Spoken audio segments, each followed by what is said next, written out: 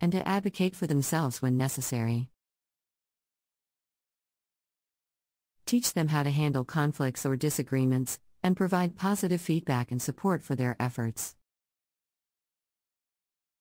Provide opportunities for learning and growth. Providing opportunities for learning and growth is an important way to help your child develop independence and self reliance. Encourage your child to pursue their interests and passions, and provide opportunities for them to learn new skills and try new things.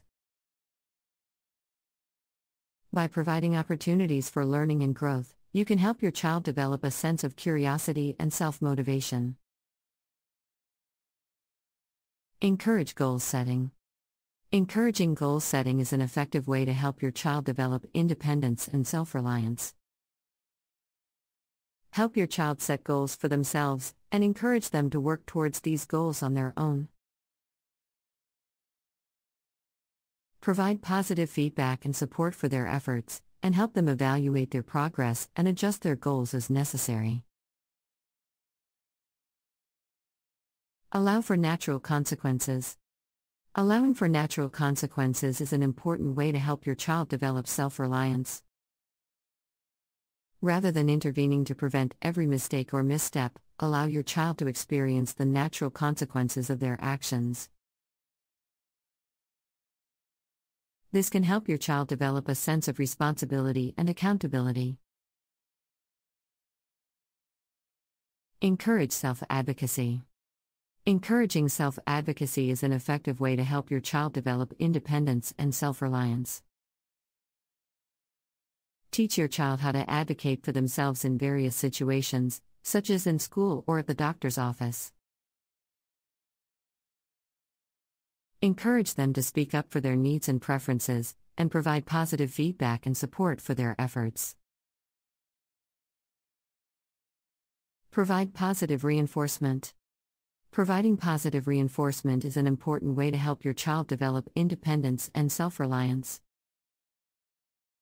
Provide praise and encouragement for your child's efforts and progress, and offer rewards or incentives for meeting goals or milestones. By providing positive reinforcement, you can help your child develop a sense of accomplishment and self efficacy. Foster a growth mindset. Fostering a growth mindset is an effective way to help your child develop independence and self reliance. Teach your child to embrace challenges and view mistakes as opportunities for growth and learning. Encourage them to persist in the face of obstacles, and provide positive feedback and support for their efforts. Encourage self directed learning. Encouraging self directed learning is an important way to help your child develop independence and self reliance. Provide opportunities for your child to pursue their interests and passions on their own and encourage them to take ownership of their learning. Offer support and guidance as needed, but allow your child to take the lead in their learning. Model positive behaviors. Modeling positive behaviors is an effective way to help your child develop independence and self reliance. Demonstrate positive behaviors in your own life, such as taking responsibility for your actions and managing your time effectively. Provide positive feedback and support for your child when they demonstrate similar behaviors.